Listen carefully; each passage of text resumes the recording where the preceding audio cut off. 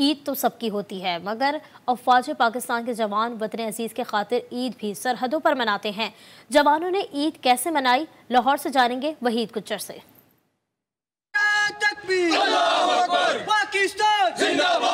ईद पर हर कोई खुशियों में मगन है। वहीं दूसरी जानब मुल्क कौम की हिफाजत और अमन अमान बरकरार रखने के लिए पाक अफवाज के जवान हमेशा की तरह आज भी सरहदों पर पाक सर ज़मीन की हिफाजत के लिए शहादत के जज्बे से सरशार हैं।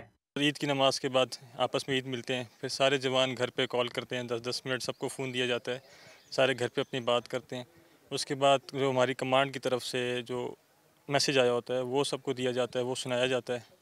उसके बाद ये होता है कि बड़ा खाना होता है। ईद पर कसूर बॉर्डर पर पाक फौज और रेंजर के जवान सरहदों की हिफाजत के फ़राइज सर अंजाम दे रहे हैं। जवानों का कहना है कि मुल्क कौम की हिफाजत के लिए हम वक्त तैयार हैं।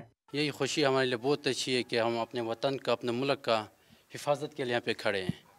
और ईद की हम कुर्बानी दे हमने ईद की कुर्बानी दिया है इसलिए कि हम अपने वतन का हिफाजत करें और हम अपने पाकिस्तानियों के लिए दिल के अथा गहराइयों से ईद मुबारक कहते हैं। ईद घर वालों की याद आती है लेकिन इधर हम जब होते हैं तो घर वाले भी जो है ना पूरा सुकून से और अपना वतन भी है वो भी जो भी ईद मनाते हैं वो, वो हम इधर खड़े हैं तो वो अच्छे तरीके से ईद मना रहे हैं।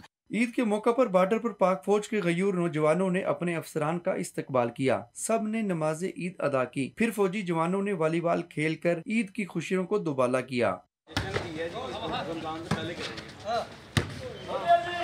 फौजी जवानों ने वतन अज़ीज़ की सरहदों की नहगबानी करते हुए ईद का दिन गुजारा। कैमरामैन बाबर मुमताज़ के साथ Waheed Gujjar G T V news, Lahore.